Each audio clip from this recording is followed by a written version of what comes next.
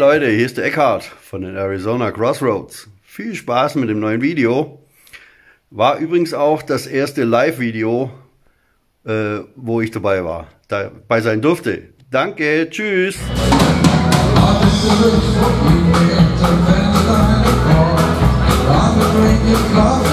Smoking cigars